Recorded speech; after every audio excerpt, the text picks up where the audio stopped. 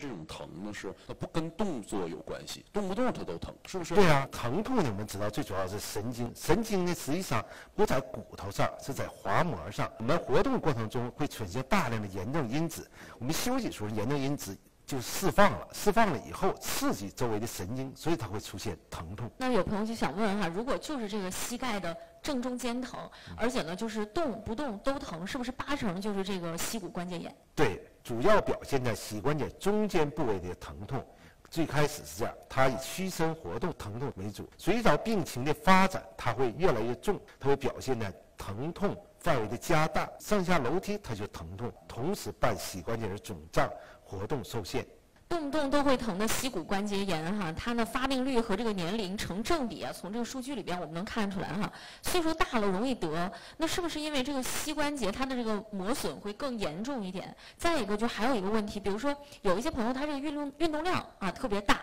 他们是不是也比较容易得呢？这个呢说的非常非常对，关节炎呢它分成两类，一类呢最常见的是运动，由于运动的方式选择的不是很恰当，造成呢膝关节那些韧带、半月板前后交叉韧带这些损伤了以后，年轻人就会出现我们关节的不稳定，出现呃这个关节炎。老年人呢，就是这些结构呢老化了，老化了也会出现相应的这个不稳，不稳的话呢，关节炎也就产生了。其实啊，我们这个有一些生活当中的活生生的例子啊，也在告诉我们说，这个膝骨关节炎，明星也是代言人。你看看这个歌手刘若英就饱受膝骨关节炎的困扰，被医生警告说可能会没办法走路。导演和演员吴京也因为这个膝关节炎的复发坐轮椅，并且接受手术的治疗。这个膝骨关节炎如果不重视的话，是不是后果是非常严重的。对呀，后果非常严重。我们知道这个软骨呢不能再生。听到这儿，大伙儿是不是得重视起来？